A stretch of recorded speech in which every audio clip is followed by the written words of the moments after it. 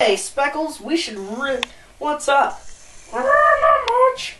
Well, you know, we should hang out more. I don't want to hang out with you because you're a fat ass! Why did you call me a fat ass? Okay, that's it! Duh. Duh. Duh. Duh. Duh. Duh. Duh. Taste what you let me, you freak! Duh. Duh. Why did you call me a fat ass, Speckles? Why?